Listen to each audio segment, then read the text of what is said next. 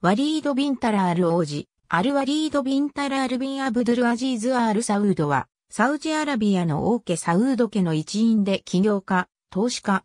日本のマスコミでは、ワリード・ビンタラール王子と呼ばれることも少なくない。株式及び土地への投資によって富を築いた。アメリカ人以外で最も成功した投資家である。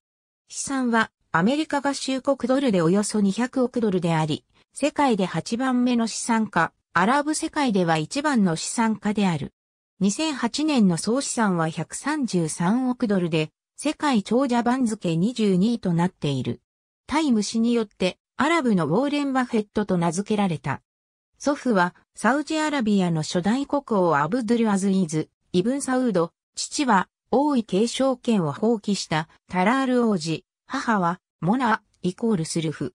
サウジアラビアの第2代、国王サウードビン・アブドゥル・アジーズのダラール王女を含め3度の婚姻歴があるが、現在は独身。子供は、ハリード王子とリーム王女の二人。リアド士官学校を経て、アメリカのメンロ大学、シラキュース大学に留学し、帰国後に事業を開始した。投資事業拡大により、資産が40億ドルを超えて、サウジアラビア一の富豪になった。リアドにあるサウジアラビア一のビルキングダムセンターの最上階に執務室がある。このビル並びにキングダムホールディングカンパニーのオーナーである。カンパニーでは1000メートルを超えるジッタタワーの建設プロジェクトを進行させている。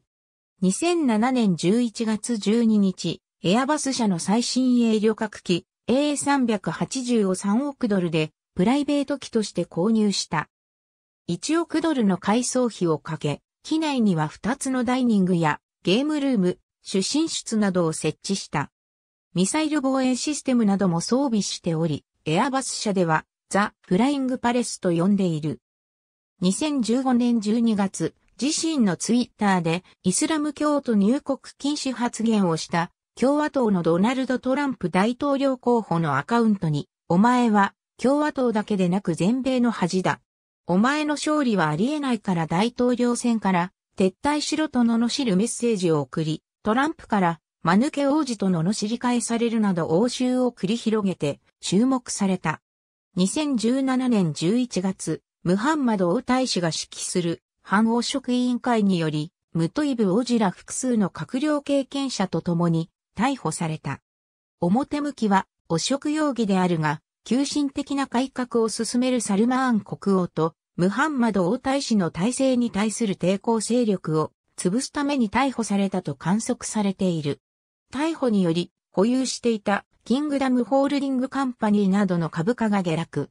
数日間で3.1兆円の資産が目減りするダメージを受けたことが報道された。